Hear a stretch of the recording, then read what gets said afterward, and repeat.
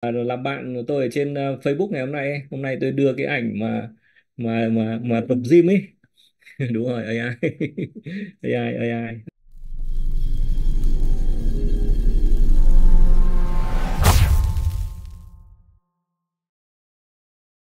Ok, có bạn Nam bạn ấy hỏi là thầy có thể hướng dẫn cách tìm kiếm tài liệu tham khảo và các trang web tìm kiếm tài liệu không? Thế thì ờ, tôi đã có rất nhiều các cái video hướng dẫn về cái cách tìm kiếm tài liệu. Đấy, thì cách mà để mà có thể tìm thấy những cái bài giảng của tôi thì các bạn dùng đúng cái từ là tìm kiếm tài liệu xong thêm chữ Vũ Duy Kiên vào thì nó có rất là nhiều các cái video ở trên này. Đấy tôi hướng dẫn các bạn cách học ở trên này. Lần nào tôi cũng phải hướng dẫn các bạn cách học ở trên này bởi vì là thực ra thì cái kênh cái YouTube này này nó cũng chính là một cái công cụ tìm kiếm rất là tốt và cái công cái YouTube này nó là cái nơi mà mình có thể học được rất là nhiều thứ. Thì các bạn có thể đánh chữ là tìm kiếm tài liệu nhé không cần giấu nhé tìm kiếm tài liệu xong rồi thêm chữ Vũ Duy Kiên nhé Đấy, enter một cái. Hiểu chưa nhỉ này tìm kiếm tài liệu này. Đấy, tìm kiếm tài liệu bí quyết tìm kiếm tài liệu chuyên nghiệp này. Thế thì thế thì việc cái tìm kiếm tài liệu ấy thì nó sẽ có nó sẽ có ba cái nguyên tắc như sau nhé ba cái bí kíp ấy nhé anh em ơi, hiểu cái cách tìm kiếm này chưa nhỉ? Anh em đã hiểu cái cách tìm kiếm ở trên YouTube này chưa nhỉ? Nếu hiểu rồi thì thì đánh số một cho tôi cái. Hiểu rồi, đánh số một cho tôi cái. Hiểu chưa nhỉ? Hiểu cách tìm thấy những cái thứ mà mình cần tìm chưa nhỉ? Đúng không? tìm những cái thứ mà mình cần tìm đấy, đúng không? Đấy. Thế thì tôi dạy đi dạy lại các bạn là gì? Nếu mà các bạn muốn tìm về bất kỳ một cái điều gì, tí nữa tôi sẽ hướng dẫn nha, Nam nha. Đừng có văn đừng có quá lo lắng. Tôi sẽ hướng dẫn bạn cách để ờ, làm những cái bước cơ bản. Thế nhưng mà cái đầu tiên là cái nơi mà các bạn nên học. Đấy, để có thể để có thể học được rất là nhiều. Bởi vì là mỗi một mỗi một lần như này này thì là tôi sẽ có những cái kỹ năng tôi sẽ bổ sung thêm các kỹ năng của đó. Đấy thì các bạn có thể cày cày các cái video này tôi rất nhiều như này. Đấy, tìm kiếm tài liệu các kiểu luôn. Đấy. Tìm kiếm tài liệu.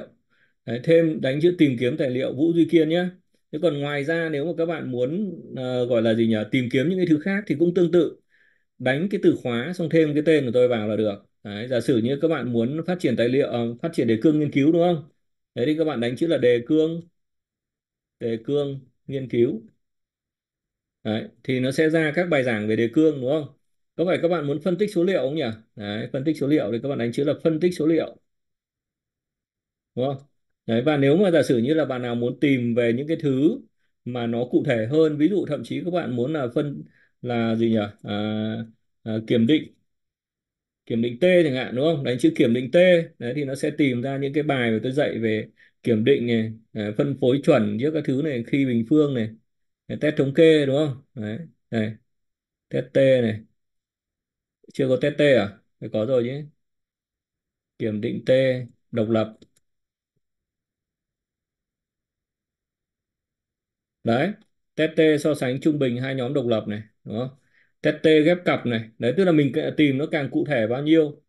Và sau đó thêm cái tên của tôi vào thì nó sẽ ra được, nó sẽ ra được các cái bài giảng đấy được chưa? Thế quay ngược trở lại thì lúc nãy tôi có nói đến là có ba cái tư duy liên quan đến cái việc tìm kiếm tài liệu. Thế thì cái tư duy thứ nhất, đó là khi mà chúng ta tìm kiếm tài liệu ấy, thì chúng ta phải hiểu được là gì? Cái tri thức nhân loại, cái tri thức mà mà tốt ấy Đấy. Khi mà chúng ta tìm kiếm tài liệu là mục đích là gì? Là mình muốn gọi là tham khảo và học tập đúng không? Thì học tập là chúng ta cần phải học những cái thằng giỏi. Đấy, anh, em, anh em nhớ như vậy nhé. Thế anh em mà chúng ta đã chúng ta lại cứ đi học những ông dốt thì ông kém đúng không? Ông kém thì rõ ràng là gì? Là cái cái kiến thức của chúng ta nó nó nó chả có ý nghĩa gì cả. Thế vừa rồi tôi thấy có một số bạn ấy là cứ hỏi tôi là đi đọc các bài báo nhưng mà tôi đã giải thích là cái bài báo này là cái bài báo chất lượng rất là kém rồi nhưng mà vẫn cứ thích đọc và muốn hiểu những cái điều đó đúng không? Thế thì tôi đã dạy cách là các bạn nên tìm đọc ở những cái tạp chí những cái tạp chí mà có các cái điểm điểm impact factor đấy đúng không? Hoặc là điểm size score đấy. Tức là những cái những cái tạp bài báo đăng trên các tạp chí có uy tín tức là có các cái điểm số cao. Thì như vậy là gì? Là mình sẽ có nhiều cơ hội hơn để mình có thể đọc được những cái kiến thức tốt được chưa? Đấy thì tư duy như vậy nhá. Thì tư, tức là tư duy là học của người giỏi này nếu và khi cái người giỏi đấy thì mình biết là gì hầu hết những cái thứ trong ngành y của mình đấy nhá và những ngành khác thì có thể cũng tương tự nhưng mà tóm lại là tôi hiểu biết ở trong ngành y nhiều nhất cho nên tôi có thể nói cái chuyện đấy là hầu hết các cái kiến thức Đấy, kiến thức mà tốt ở trong ngành y của mình thì đều được viết bằng tiếng Anh đã thống kê đâu đó khoảng bảy tám mươi phần trăm gì đấy. Đấy thế thì khi mà chúng ta tìm kiếm thì chúng ta là người nói tiếng Việt đúng không? Thì chúng chúng ta có thể sử dụng những cái điều mà chúng ta muốn tìm kiếm đấy bằng tiếng Việt. Sau đó thì ở trên cái trên Google này này nó có cái gọi là Google dịch ấy. Nó rất là tiện rồi. Các bạn chỉ cần đánh chữ dịch thôi nhé đánh chữ dịch này. Đấy. Thế thì có phải là nó sẽ ra cái này đúng không? Đấy. Đấy, ra cái này. Thế thì mình muốn tìm về một cái vấn đề gì đấy thì mình đánh vào đây. Sau đó mình dịch ra bên này. Sau đó thì mình lên các cái công cụ tìm kiếm để mình để mình tìm nhé đấy là tư duy thứ nhất nhé tư duy thứ nhất nhé tư duy thứ hai đó là gì? Nó có rất là nhiều các cái bộ công cụ. Nó có rất là nhiều các cái công cụ để tìm kiếm. Có rất nhiều các cái công cụ để tìm kiếm các cái các cái các cái tài liệu trong ngành y của mình. Và cái công cụ cơ bản nhất là cái công cụ Google, đúng không? Chúng ta có thể đưa cái nội dung ở Google mình tìm đấy một cách đơn giản nhất, đúng không? Cách thứ hai là chúng ta có thể cao hơn này, cao cấp hơn là mình có thể sử dụng cái Google Scholar. Google Scholar nhé. Chúng ta đánh chữ Scholar là được. Đấy. Đấy, cái này chính là Google Scholar nhé chúng ta đánh chữ đánh đúng cái chữ Scholar này thì nó sẽ hiện lên cái đường link đấy đầu tiên đúng không đấy, thế mình sẽ kích vào đây đấy. thì có phải là nó sẽ ra được một cái cái ô tìm kiếm ở đây đúng không đấy Google Scholar đây nha tôi gửi cho các bạn nhé đấy. thế thì chúng ta tương tự như vậy mình sẽ tìm một cái vấn đề gì đấy Thế giả sử như các bạn muốn tìm là là gì nhỉ? Tìm, muốn tìm kiếm về một cái vấn đề gì đấy nữa. Ok ví dụ như là chất lượng cuộc sống, đúng không? Chất lượng cuộc sống. Đấy. và một số yếu tố liên quan của bệnh nhân, đúng không? Bệnh nhân ung thư chẳng hạn, đúng không? Ung thư. Đấy giả sử như mình ờ, gọi tìm chung chung như vậy đúng không? Thì giả sử thì nó sẽ ra cái này. Thế xong mình copy cái đoạn này. Sau đó mình sang bên này. Mình paste vào đây mình tìm đúng không? Đấy, đấy. thì nó sẽ ra được đại loại một bài như này đúng không? Hoặc là ở đây là mình đang tìm nó nó đang đang hơi bị khư trú là bệnh nhân ung thư. Ở đây mình có thể là bỏ cái này đi đúng không? Hoặc là trên bệnh nhân gì đấy đúng không? Bệnh nhân mà đấy, mình bỏ relate factor thôi. Đấy mình mình chỉ tìm là khi mình tìm mình tìm mà cái cái cái nội dung tìm của mình nó nó, gọi, quá, gọi là gì nhỉ? Quá à, à, quá cụ thể thì đôi khi là cái xác suất tìm thấy của mình nó rất là thấp. Thế thì ở đây tôi chỉ tìm là gì? Quality of life là chất lượng cuộc sống và một số yếu tố liên quan thôi. Thế thì nó sẽ ra những cái bài ví dụ như là chất lượng cuộc sống này và à, yếu, và một số yếu tố liên quan ở trên bệnh nhân đái tháo đái tháo đường type 2 này, đúng không? Cái này là gì? Ở trên những những bệnh nhân mà mà được, gọi là chăm sóc uh, những người già được chăm sóc tại cái khu mà mà mà điều dưỡng này đúng không? Hoặc là gì đây là người già này đúng không? Rồi thì uh, quality of life của những uh, sinh viên này đấy. Rồi thì uh, đây này của những bệnh nhân Úc này đấy. Rồi thì những cái những cái người mà bị inflammatory bowel disease tức là những người mà bị viêm ruột này. Đấy nó rất là nhiều thứ đúng không nhỉ? Đấy. Được chưa? thì cái đấy là cái thứ nhất cái thứ hai nữa là chúng ta có một cái công cụ mà chúng ta không thể không biết được nó có tên là PubMed đúng không? Đặc biệt trong ngành y của mình không thể không biết được. PubMed đúng không? PubMed nó là cái thư viện quốc gia nó là cái trang web của thư viện quốc gia của Hoa Kỳ tức là Mỹ đấy của Mỹ đấy. Đấy thì nó ở đây là cái nơi mà nó sẽ nó sẽ gọi là lưu trữ những cái thông tin liên quan đến các cái xuất bản đấy, các xuất bản quốc tế các xuất bản của các cái tạp chí trên thế giới này.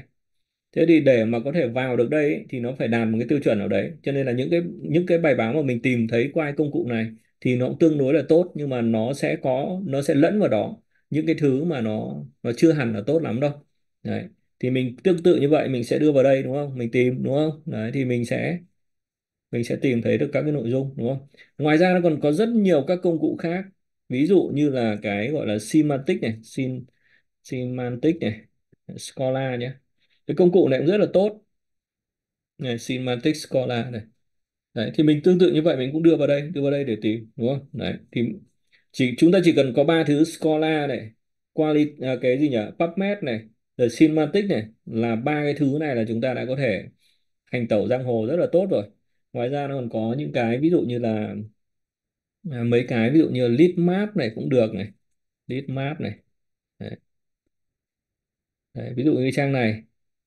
Đấy, chúng ta có thể tận dụng cái trang này hoặc là chúng ta có thể sử dụng cái trang có tên là à, gì nhỉ? À, lead map này à, connected này connected paper này. Thế thì cái connected paper này thì nó có cái hay đó là connected paper với lead map này, này nó có cái hay đó là gì? Nó sẽ giúp cho mình kết nối cái điều mà mình muốn tìm kiếm tới những cái nội dung khác tương tự đúng không?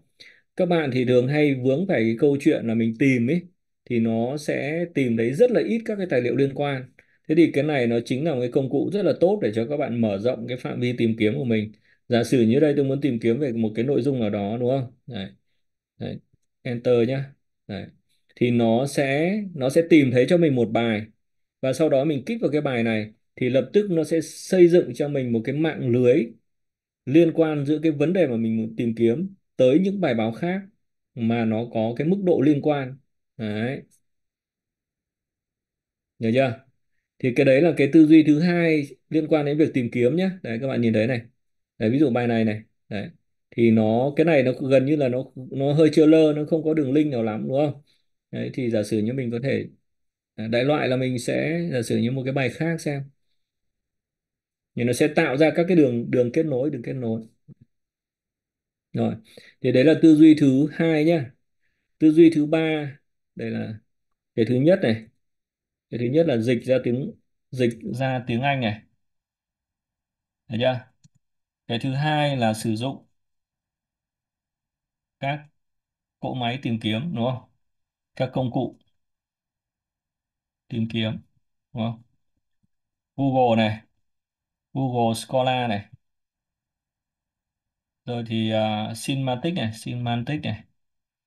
Rồi thì à, à, um, uh, Lead Map này. Rồi thì uh, Connected Paper này.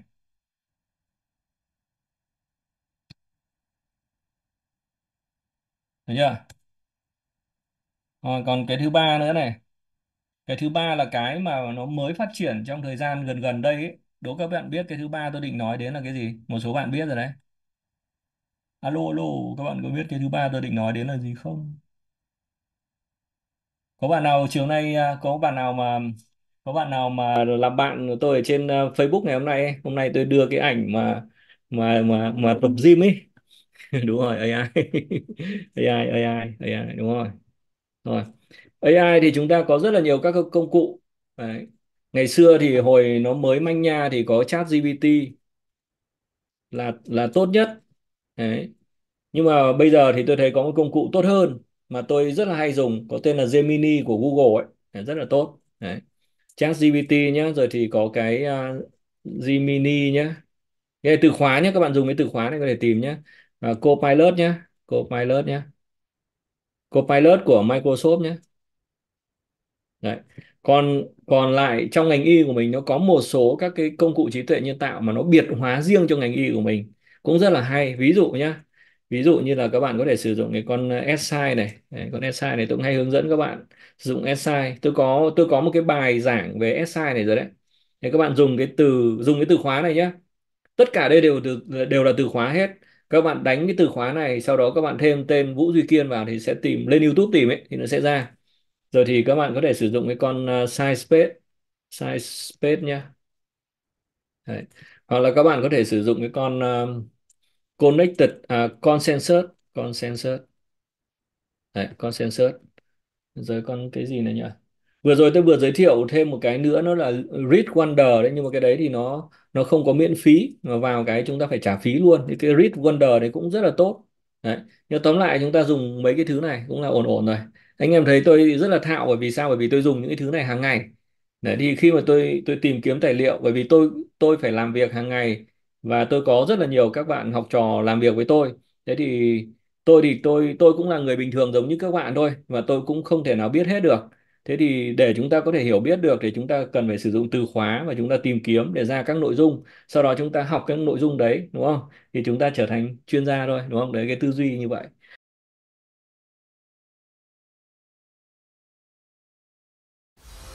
Xin chúc mừng bạn đã xem hết video này cùng với Vũ Duy Kiên. Để không bỏ lỡ các video tiếp theo, Hãy đăng ký vào nút hình tròn ở giữa màn hình hoặc có thể xem các video tiếp theo ở phía bên tay trái hoặc bên tay phải. Hẹn gặp lại bạn ở trong các video tiếp theo của tôi.